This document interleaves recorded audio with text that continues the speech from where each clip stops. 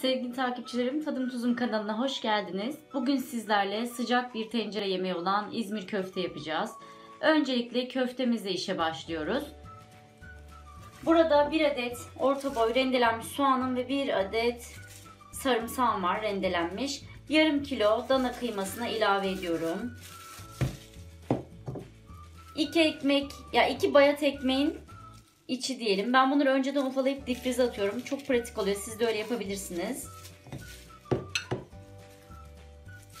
Hepsi çay kaşığıyla tuz, kimyon, karabiber ve tatlı toz biberim var. Acı seviyorsanız acı da atabilirsiniz.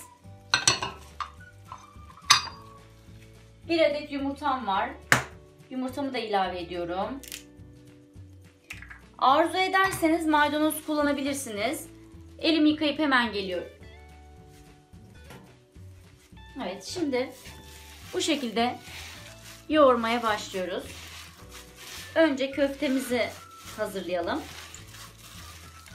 Sonra burada 3 adet artık kişi sayınıza göre ne kadar yapmak istiyorsanız 3 adet biz 4 kişilik bir aileyiz. 4 kişilik bir aile için 3 adet patates kafi geliyor. Köftelerle birlikte patatesimizi kızartacağız. Bunları da süslemek için üzerine kullanacağız. Bir adet büyük boy domatesim vardı. 2 adet de burada sivri yeşil biberim var. Bu da en son tencere yemeğimizin salçalı suyu olacak. Üzerine gezdirip pişmeye devam edeceğiz. İsterseniz fırına da verebilirsiniz. Şimdi köftemizi yoğurmaya devam edelim. Dediğim gibi maydanoz koymak istiyorsanız köfteye koyabilirsiniz. Hatta köftelerinize bir miktar karbonat koyarsanız böyle çay kaşığın ucuyla fosur fosur oluyor böyle güzel bir e, ağza çok güzel bir tat veriyor. Köftemizi yoğurduk. Şimdi onlara şekil vereceğim. İlk önce patatesimizi kızartmayla başlayacağız. Ocağımızın başına geçip bakın elimi sıvı yağ ile yağladım. Bir miktar köfteden alıyorum kıymamızdan. İstediğiniz şekli verebilirsiniz. Fakat ben böyle şekil veriyorum. Çok hoş oluyor. Bakın şurayı biraz bastırıyorum. Diğer tarafını çeviriyorum. Onu da bastırıyorum. Ve şöyle yapıyorum. Tekirdağ köftesine benziyor arkadaşlar. Bastırıyorum.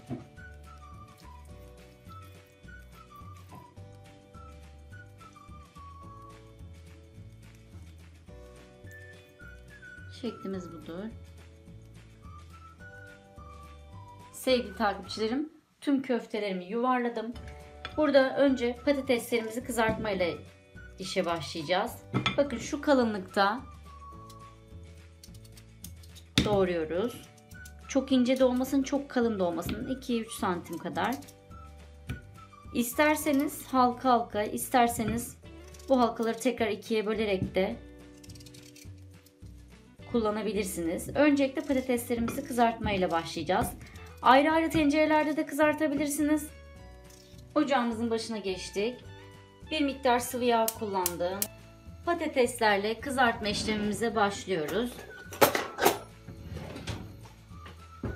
Ben böyle halka halka yapacağım.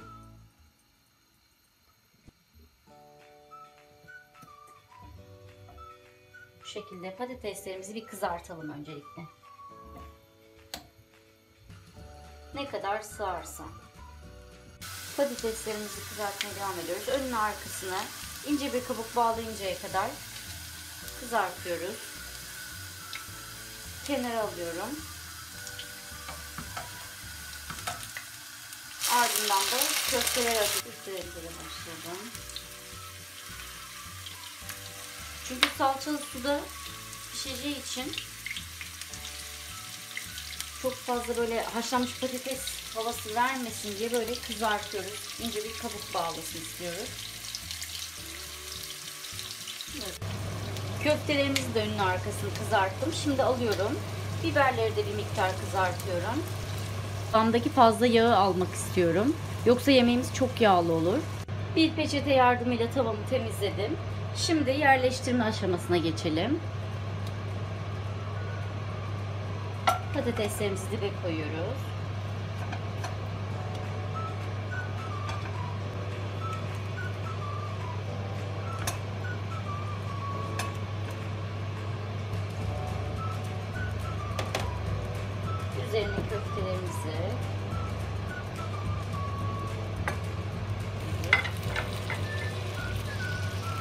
Şimdi domatesleri bırakıyorum.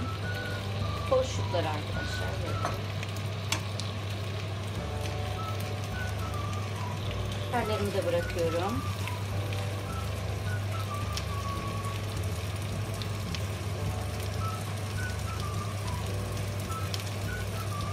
Şimdi üzerine salçalı suyumuzu gezdireceğiz. Bunun için salçayı açacağım sıcak su ile.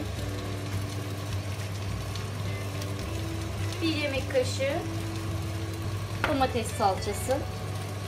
Çok hafif de biber salçası kullandım. Çok az. Salçam eridi. Şöyle gezdiriyorum üzerine.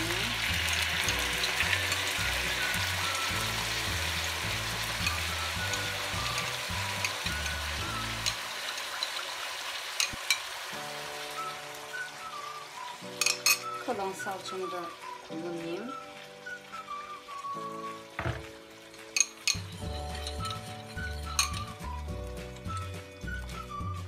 Şekilde.